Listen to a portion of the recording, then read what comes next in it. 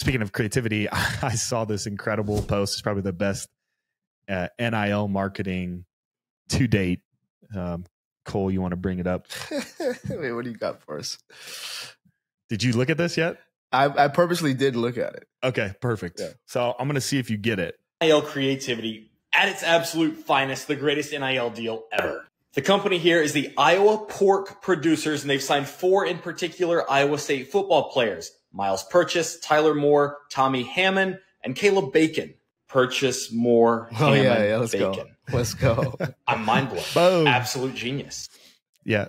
So, uh, you know, NIL, I think like those guys aren't big name brands, right? right. But in the Midwest, when it comes to farming and ranching, obviously pork production, beef, cattle, corn, uh, wheat, those are all really big commodities that we produce in the Midwest.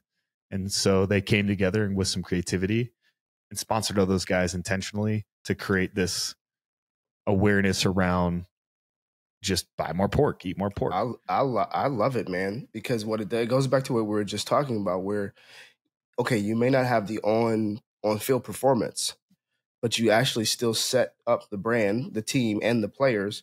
Um, everyone still is in a position to be elevated, not just monetarily, um, receiving monetary benefit. Now, now we're going to create a content series where we follow Purchase around because he doesn't really play, but he's taking us on the inside with the team. You know, whatever it is, you know, it's just like it's amazing.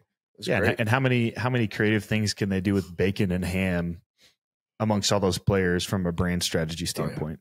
Right, Absolutely. it's it's unbelievable. Yeah, that was So- that's pretty sick. Yeah. So sick. as a, as a brand guy, I knew you would love that. I loved Shout- it. I thought, man, that's incredible. Was it the Iowa? Was it Iowa Farming? What is it? What was the name of the company?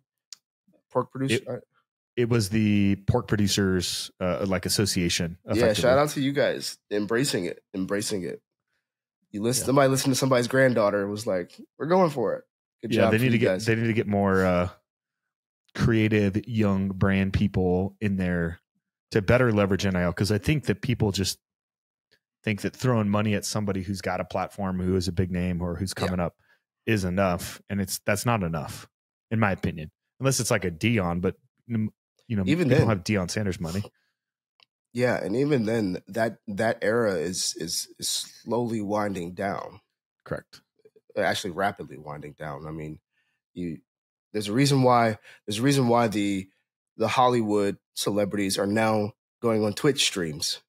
Right. You know, it's like that that era is is closing quickly. Well, Um, and, and and people are getting scammed, right? I mean, look at uh, FTX and Tom Brady. correct. Oh, everybody followed suit and said, "Well, we should go do that because Tom Brady did it." You know. Yeah. So that that just uh, associative, you know, this person's successful, so I'm going to do what they do because I want to be like them. Type of marketing is not enough anymore.